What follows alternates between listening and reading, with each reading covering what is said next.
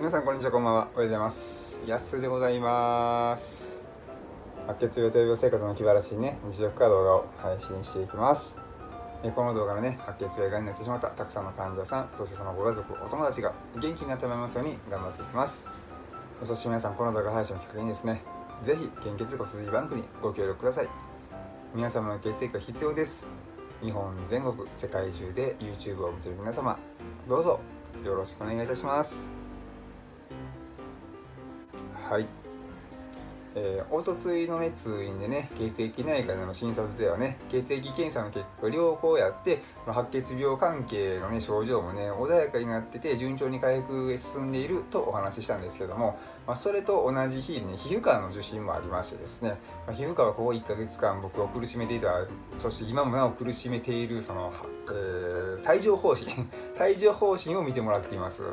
で、まあ、左足にね症状が集中していまして帯状疱疹でその発症する水ぶくれをねだいぶ引いてきて良くなってるんですけどもそのね帯状疱疹で漏れなくついてくるというか、まあ、ついてきてしまうね帯状疱疹後神経痛をね引きずっております、まあ、そこそこね地味に痛いので気が抜けないんですわ。もう気を抜くとねうってこうなってしまいますのででそしてさらにねふくらはぎの肉離れ感もね出てきたということについてもね聞いてきたんですよ。その通院の日に投稿したね動画の中でもねお伝えしましたけどもその僕が帯状疱疹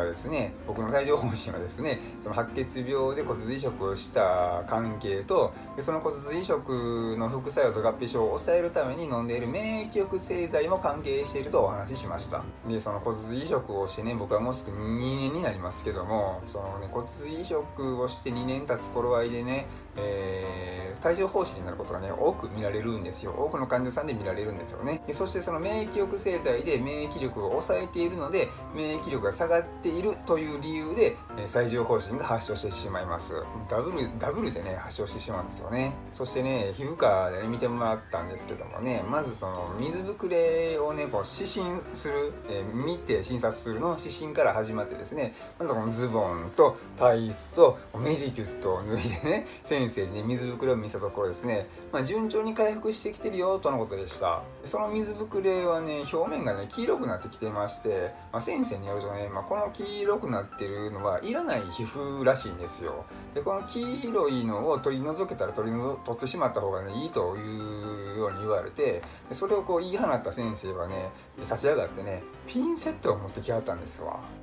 もうね傷に張り付いたそのかさぶたをね剥がされてるのとね同じぐらいの痛さがね襲ってきましたよ。ほんでね、まあ、傷にこうピーったり張り付いてるね皮膚やしね、まあ、そのかさぶたほどね乾燥しきってるわけじゃないからねもうつまみにくいしなんかパンパンに張ってるんですよ。引っ張られてるそのなんか突っ張ってるんですよね。だからそのもうほんまつまみにくいし、まあ、そして剥がれにくいんですがピタッとくっついてるから。だから何回もピンセットでこうピュピュピュピュピュピュってねこうつまみまくるわけですよ。もうねこうチクチクチクチクチクチクチクチクしてねもうたまにこうたまにつまめた時にねこの走る激痛にね耐えれないんですよね。まあ食べましたけどね。それでもね完全にこう綺麗にね全部が取れたわけじゃないのでまだその黄色いらないね皮膚がね半分残ってるので傷がね綺麗に治るのはねまだまだ先のようですわ。なんかそのねいらない皮膚をしっかり取ってあげたらまたそこに新しい皮膚が再生しやすいっていうことなんですよね。なんかそうやって先生言ってましたわ。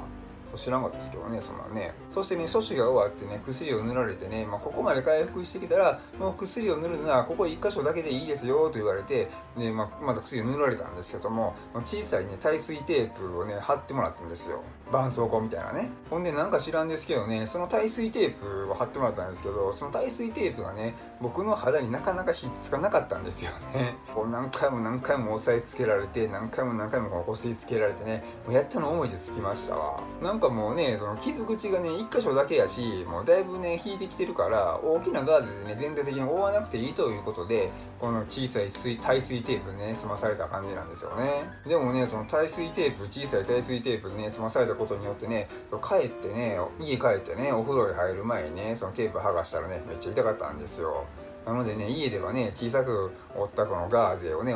を仕当ててでもこれまで通りねメディキュットでね抑えることにしております、まあ、そんな感じでね水ぶくれに関してはですね落ち着いているのでもう抗ウイルス剤もねもうやめて水ぶくれが引いていくのをね待つだけなんです。ほんでね今水ぶくれは良しとしてですね次に気になるのはね神経痛とねふくらはぎの肉離れですよ、まあ、神経痛もねマシにはなってきてるんですよ。少しだけはマシになってきてるんですけどもねまだまだその夜になるとね痛みがね増すこともありますしね。そのねかゆみやねその日焼けのようなそのやけどのね痛みとかもありますしね針で細かく浅くね刺されてるこうチクチクチクチクチクチクチクチクされてるような痛みもねまだまだ現在進行形なので、まあ、これに関してはねその神経痛にね効果が出てる痛み止めがあるんですけども、まあ、それをねこう1段階増やして濃厚なやつにしてもらってね他の今までもらってた痛み止めもね、まあ、続行ということでねちょっと様子を見ます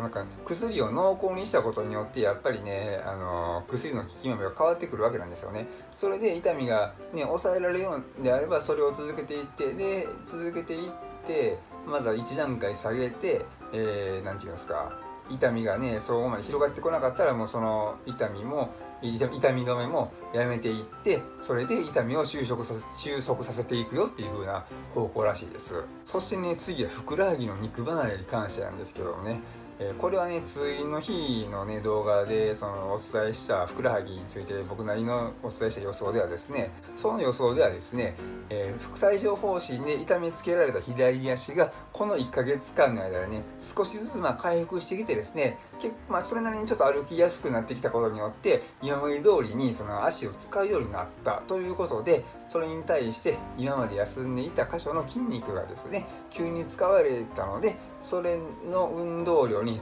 追いつかないので起こってしまっている症状。だとね僕はお伝えしたんですよ。お話ししたんですよ。そしたらね先生からね全く同じこと言われましたわ。まあ予想がね予想通りに当たってくれてねまあこれぐらいのことかって思ってね、まあ、一安心してる気持ちの裏側でですねなんじゃそらと。他になんかないんかいな先生として医者としてって思うそう期待外れ感みたいなこともねあったんですけども、まあ、考えてみればね何もない方がいいのでねほんまにこの程度ですんでよかったです。そんな感じでね、まあ、皮膚科にでの帯状疱疹はですね順調に回復していて、ま、神経痛に関しては神経痛に効果が出る薬の、ね、力がね濃くなったやつをね渡されてといった感じでした。帯状疱疹自体はですね1ヶ月でね収束してくると、ね、言われてますので、まあ、それの水ぶくれに関してはもう1ヶ月以上経ってるのでね、まあ、傷が治るのを待つだけでね塗り薬を塗ってほったらかしにしたらいいのでねもう何も気にすることはねありません。でもこの神経痛っていうのはねいつまで続くかね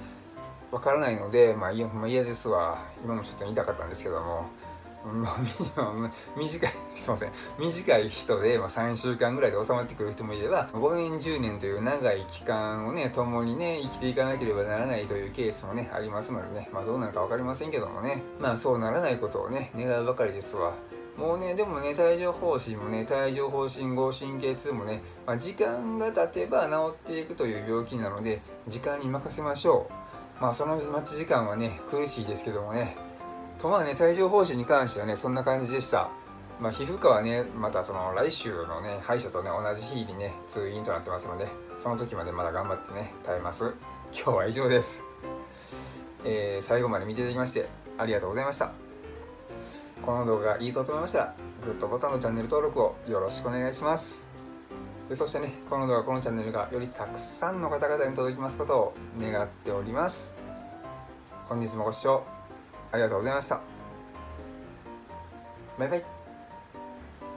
僕は元気です。